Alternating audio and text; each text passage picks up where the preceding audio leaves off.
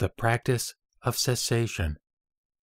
Should there be a person who desires to practice cessation, he should stay in a quiet place and sit erect in an even temper.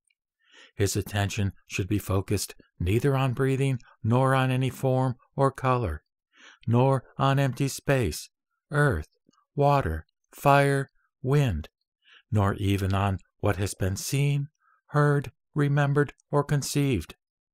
All thoughts, as soon as they are conjured up, are to be discarded, and even the thought of discarding them is to be put away. For all things are essentially in the state of transcending thoughts, and are not to be created from moment to moment, nor to be extinguished from moment to moment.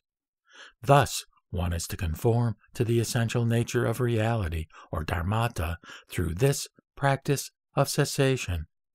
And it is not that he should first meditate on the objects of the sense in the external world and then negate them with his mind, the mind that has meditated on them. If the mind wanders away, it should be brought back and fixed in correct thought. It should be understood that this correct thought is the thought that whatever is, is mind only, and that there is no external world of objects as conceived. Even this mind is devoid of any marks of its own which would indicate its substantiality, and therefore is not substantially conceivable as such at any moment.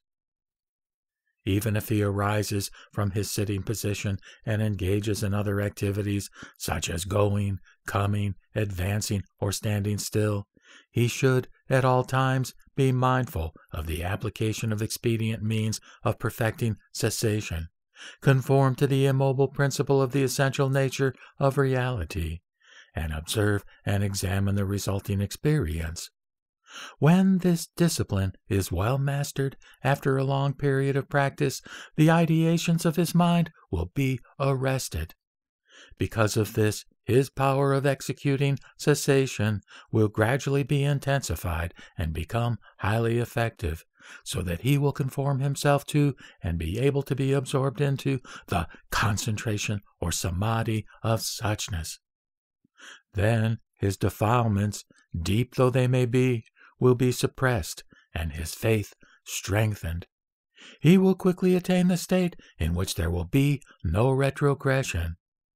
But those who are skeptical who lack faith, who speak ill of the teaching of the Buddha, who have committed grave sins, who are hindered by their evil karma, or who are arrogant or indolent, are to be excluded. These people are incapable of being absorbed into the samadhi of suchness. Next, as a result of this samadhi, a person realizes the oneness of the world of reality, or dharmadhatu, that is, the sameness everywhere and non duality of the Dharmakaya of all the Buddhas and the bodies of sentient beings. This is called the Samadhi of One Movement. It should be understood that the Samadhi of suchness is the foundation of all other Samadhis. If a person keeps practicing it, then he will gradually be able to develop countless other kinds of Samadhis.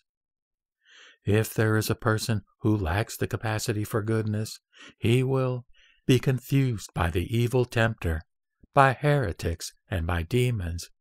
Sometimes these beings will appear in dreadful forms while he is sitting in meditation, and at other times they will manifest themselves in the shapes of handsome men and women. In such a case, he should meditate on the principle of mind only, and then these objects will vanish and will not trouble him any longer. Sometimes they may appear as the images of heavenly beings or bodhisattvas, and assume also the figure of the Tathagata, furnished with all the major and minor marks. Or they may expound the spells or preach charity, the precepts, patience, zeal, meditation, and wisdom.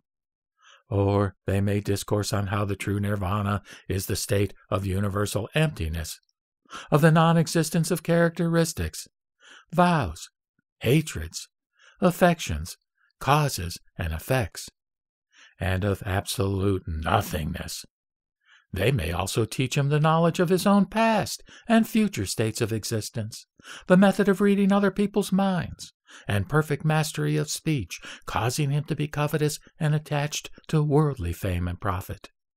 Or they may cause him to be frequently moved to joy and anger, and thus to have unsteadiness of character, being at times very kind hearted, very drowsy, very ill, or lazy minded or at other times becoming suddenly zealous and then afterward lapsing into negligence, or developing a lack of faith, a great deal of doubt, and a great deal of anxiety, or abandoning his fundamental excellent practices toward religious perfection and devoting himself to miscellaneous religious acts, or being attached to worldly affairs which involve him in many ways, or sometimes they may cause him to experience a certain semblance of various kinds of samadhis, which are all the attainments of heretics and are not the true samadhi or sometimes they may cause him to remain in samadhi for one, two, three, or up to seven days, feeling comfort in his body and joy in his mind, being neither hungry nor thirsty, partaking of natural, fragrant, and delicious drinks and foods, which induce him to increase his attachment to them. Or at other times they may cause him to eat without any restraint, now a great deal, now only a little, so that the color of his face changes accordingly. For these reasons, he who practices cessation should be discreet and observant, lest his mind fall into the net of evil doctrine. He should be diligent in abiding in correct thought, neither grasping nor attaching himself to anything. If he does so, he will be able to keep himself far away from the hindrance of these evil influences. He should know that the samadhis of the heretics are not free from perverse views, craving, and arrogance. For the heretics are covetously attached to fame, profit, and the respect of the world. The samadhi of suchness is the samadhi in which one is not arrested by the activity of viewing a subject, nor by the experiencing of objects in the midst of meditation. Even after concentration, one will be neither indolent nor arrogant, and one's defilements will gradually decrease. There has never been a case in which an ordinary person, without having practiced this samadhi, was still able to join the group that is entitled to become Tathagatas. Those who practice the various types of dhyana meditation and samadhi that are popular in the world will develop much attachment to their flavors, and will be bound to the triple world because of their perverse view that Atman is real. They are therefore the same as heretics, for they depart from the protection of their good spiritual friends. They turn to heretical views. Next, he who practices this samadhi diligently and wholeheartedly will gain ten kinds of advantages in this life. First, he will always be protected by the Buddhas and the Bodhisattvas of the ten directions.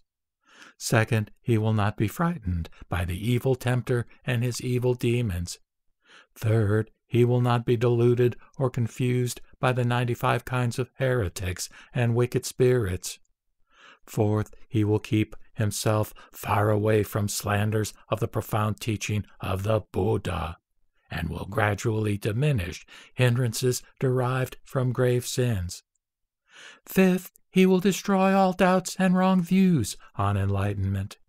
Sixth, his faith in the realm of the Tathagata will grow. Seventh, he will be free from sorrow and remorse, and in the midst of samsara will be full of vigor and undaunted.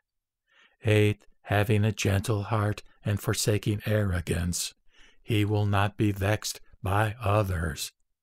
Ninth, even if he has not yet experienced samadhi, he will be able to decrease his defilements in all places and at all times, and he will not take pleasure in the world. Tenth, if he experiences samadhi, he will not be startled by any sound from without. Now, if he practices cessation only, then his mind will be sunk in self complacency, and he will be slothful. He will not delight in performing good acts, but will keep himself far away from the exercise of great compassion. It is, therefore, necessary to practice clear observation as well.